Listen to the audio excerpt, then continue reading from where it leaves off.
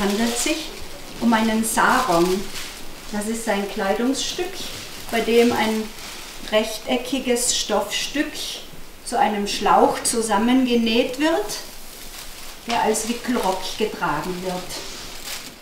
Das Prinzip ist immer das, dass mit einem Auftrag von Wachs ein Teil des Stoffes reserviert, das heißt abgedeckt wird, und ein anderer Teil offen bleibt und in einem Färbebad die Farbe aufnehmen kann.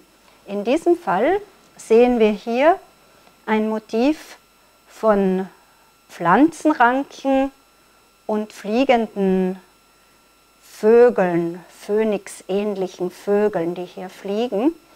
Und man kann also gut unterscheiden, dass es hier eigentlich vier Farben gibt. Cremeweiß, warmes Braun, klares Indigoblau und Schwarz. Das sind aber nicht vier Färbebäder, sondern das sind nur zwei Färbebäder. Und das wurde also so hergestellt, dass der zunächst weiße Stoff äh, in allen Bereichen, die weiß bleiben sollten und in allen Bereichen, die blau sein sollten, äh, mit Wachs abgedeckt wurde. Und dann wurde, das kennen auch viele Leute, dass diese Wachsschicht auch noch ein bisschen geknetet mhm. und damit entstand so ein Craquelé-Muster, so ein Bruch, marmoriertes mhm. Muster und äh, dann wurde das Ganze in, in braun gefärbt und es war in der ersten Phase eine Batik braun und weiß. Mhm. Da wurde dann das Wachs weggenommen und neues Wachs aufgetragen. Und zwar immer auf beiden Seiten. Das ergibt dann eine fast perfekte beidseitige Musterreservierung. Im, Im, nächsten Schritt wurde, wurden dann alle Flächen mit Wachs bedeckt, die weiß oder braun bleiben sollten und es wurde blau gefärbt. Und dort, wo vorher weiß war, ist das Blau blau geblieben. Aber dort, wo schon bereits braun vorhanden war, ist durch die Überfärbung von Blau und Braun dieses Schwarz entstanden.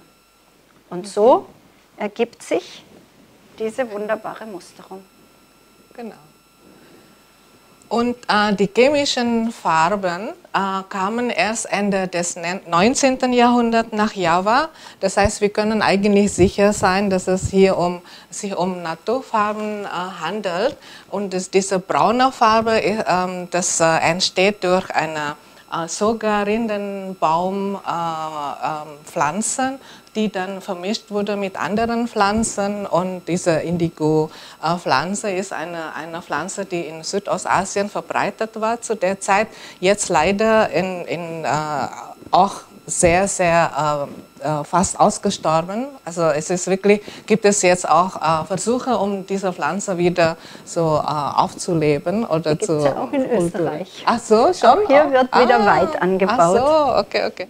Was mir auffällt, Janne, ist, dass es eigentlich stilistisch eine große Diskrepanz gibt mhm. zwischen ja. diesem Bereich hier, ja der so kleinteilig ja. und naturalistisch mhm. ist und so viel Pflanzen zeigt, dann wieder eigentlich auch die interessante strenge Geometrie in diesem Strahlenmuster mhm. hier mhm. und aber ganz anders im Stil diese äh, sehr zurückgenommene, reduzierte, abstrahierte Motivik in dem Bereich. Ja. Was ist da die Erklärung? Ja, also das ist ein, ein sehr, sehr altes Motiv, also ein klassisches Motiv für javanische Batik. Das nennt sich Parang. Muster und dieser Muster ist auch ähm, auf einem Schöpfungsmythos begründet, dass ein Sultan vom 16. Jahrhundert äh, meditiert und dann eine Eingebung bekommen hat, ähm, dass er die Meeresspiegel so ähm, äh, wellig äh,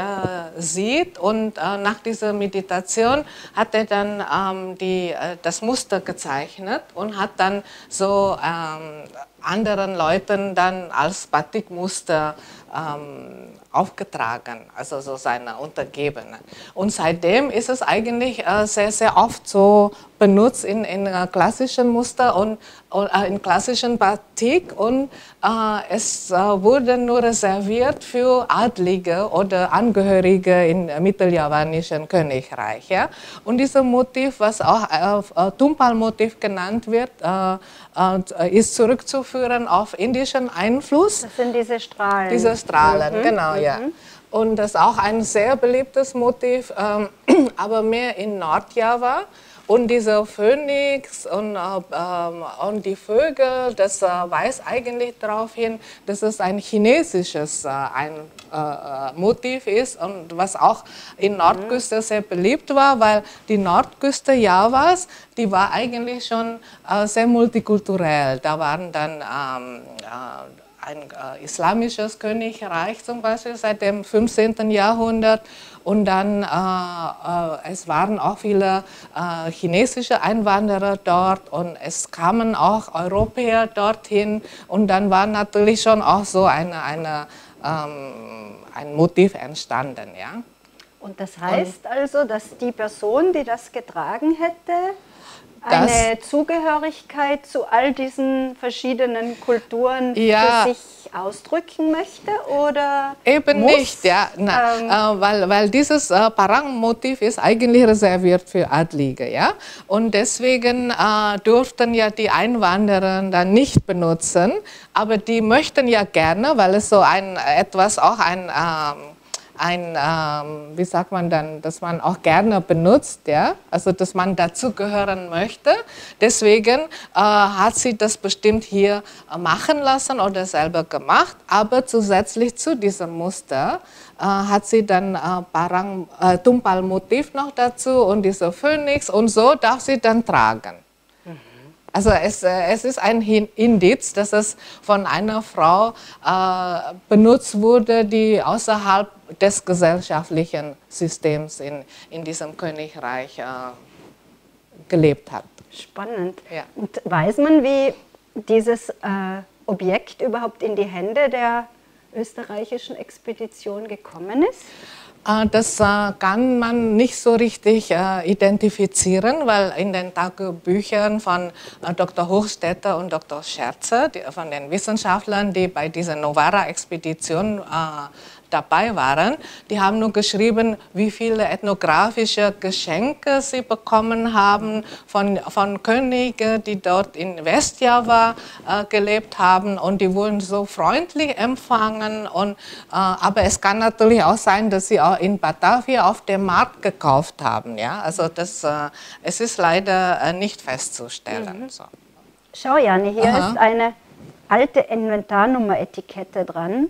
Zweimal steht die Inventarnummer 3683. Einmal auf den Stoff geschrieben, mhm. einmal auf dieses Kartonschild.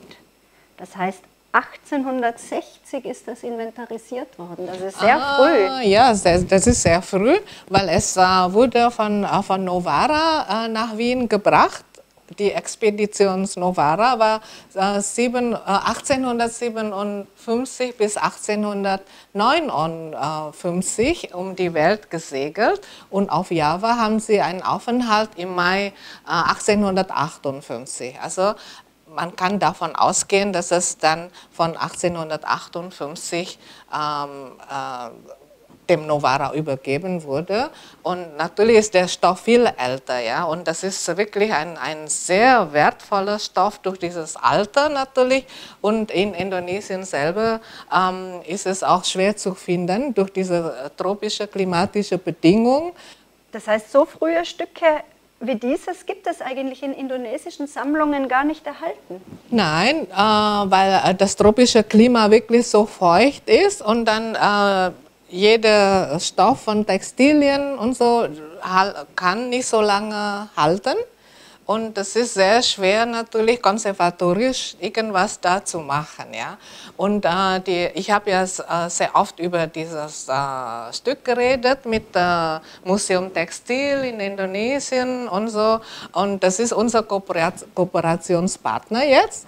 Und äh, so, dieses, so ein Projekt mit Herkunftsländern heißt eigentlich so Sharing Heritage. Das heißt, äh, ein Objekt, was so wertvoll ist, was in Europa ist, ähm, wird aber trotzdem in, in Herkunftsland, in dem Fall Indonesien, vorgestellt und es wird dann Workshops machen über diesen Stoff und dann bekomme ich natürlich auch viele Informationen, was noch nicht publiziert ist von den Leuten und vielleicht können sie auch mehr sagen über das äh, hinaus, was ich bisher rausgefunden habe und so. Also das, das ist immer so ein, ein Dialog so und deswegen so, solange wir immer so einen Zugang äh, geben an äh, Herkunftsländern, um Informationen über ähm, Kollektionen in Europa, ist es eigentlich, ähm, finde ich, geteilte gut. Freude. Genau.